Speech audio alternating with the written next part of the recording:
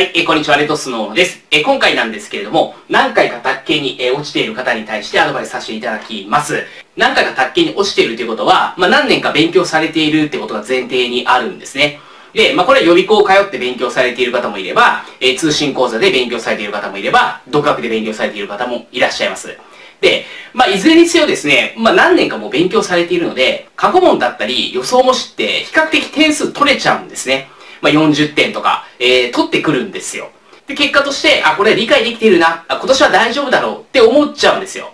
で、じゃあ蓋を開けてみたらどうかっていうと、えー本試験で、えーわからない問題がたくさん出てきて、合格点に届かなかった。意外とそういう方って多いんですね。で、その方々がまず間違っていることっていうのは何かっていうと、一番最初に、まず認識が間違っているんですね。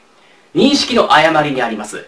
まあ、弊社の動画とか、まあ、メルマガとかご覧いただいている方だったらわかると思うんですけども、卓球に合格するためには理解学習をするってことが非常に重要なんですよ。で、先ほども、えーお伝えした通り、何年か勉強されている方っていうのは、過去問とか予想もして点数取れちゃうので、理解学習ができているっていうふうに、えー思い込んじゃうんですね。そして理解学習がもしできていたと仮定すれば、本試験で合格点を取ることは、えー難しくはないんですよ。理解学習をしていたら40点ぐらいの点数いきますので、ボンミスをしたとしても、合格点は取れるんですね。つまり、合格点を取れなかったということは、そもそも理解学習ができていなかったということなんですよ。ここをまず認めないと、次に進まないんですよね。これを認めずに、また同じように勉強を繰り返したら、勉強量は増えるけども、勉強の質は上がってこないので、結局次の試験も同じように合格点が取れずに落ちる可能性が非常に高くなります。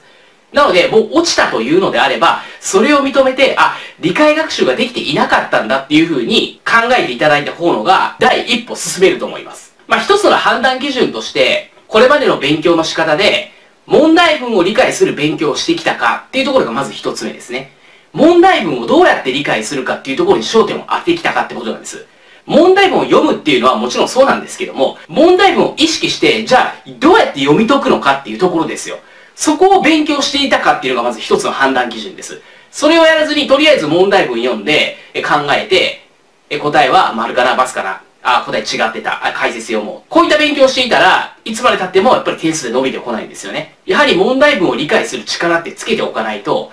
宅建試験っていうのは初めて見る問題ですよね。過去問は何回かやってるので、問題文多少わからなくても答え導けちゃうんですけども、本試験っていうのは初めて見る問題、初めて見る言い回しとか、そういったものがやっぱ多いんですよ。それでちゃんと問題文が理解できないと間違えちゃうんですよね。だから問題文の理解がまず第一として大事だと。これをこれまでの勉強でやっていたかやっていなかったのかっていうのが一つ目の判断基準です。もう一つが解説の理解ですね。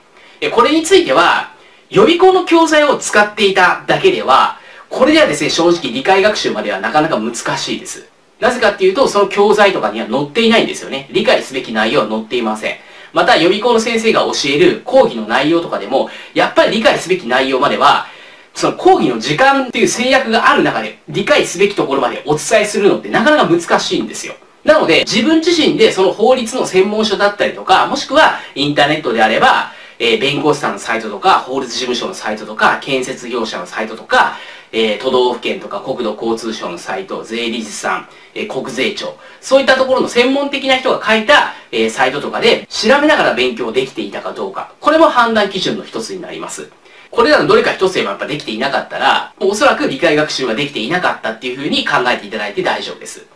で、ここで、まず理解学習ができていなかったっていうことをまず認識しますよね。で、その次は決断なんですよ。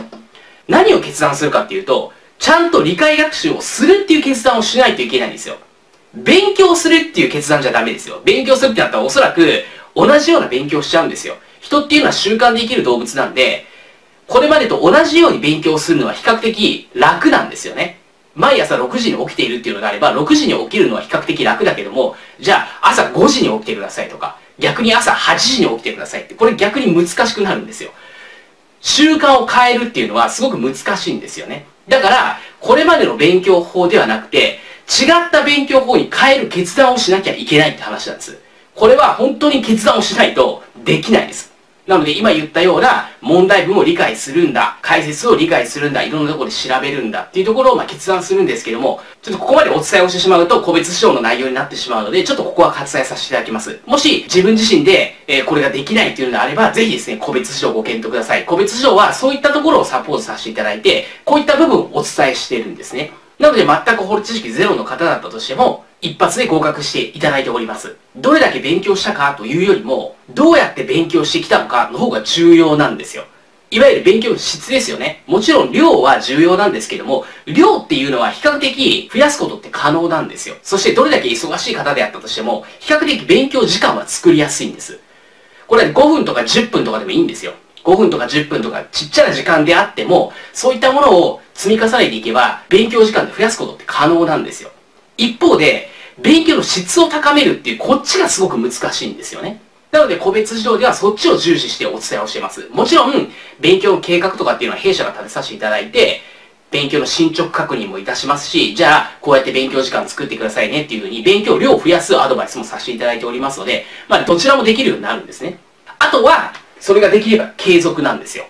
1週間、1ヶ月やっただけでは、点数って上がってこないんですよね。やはりやっぱ数ヶ月かかるんですよ。となってきた時に、人っていうのはやる気がある時もあれば、ない時もある。それでも勉強って続けていかないといけないんですよね。まあもちろん、まあ、そうですね、1週間くらい勉強できなかったっていう期間があったとしても、それは仕方がないかもしれないけども、1ヶ月勉強できないとか、2週間勉強できないってなってくると、その時間ってもう取り戻せないですし、また勉強する習慣から付け直さないといけないっていうことがあるので、なかなかそれが繰り返しあると合格って難しいです。なので、この点も、まあ、予備校を通っている方も、通信講座の方も、独学の方もそうなんですけども、自分自身で計画を立てて、で、計画できているかの確認をして、で、修正を加えてまた実行していくってことを繰り返しやっぱり2やんなきゃいけないんですよね。だから、理解学習をしながら、一方で計画管理も自分自身でやっていかないといけない。時間のマネジメントもしていかないといけないっていうことになるんですよね。で、個別指導はそこまでサポートさせていただいております。なので、そういった時間管理とかも難しいっていうのであれば、その点も個別指導でサポートさせていただいておりますので、その点もご安心いただければと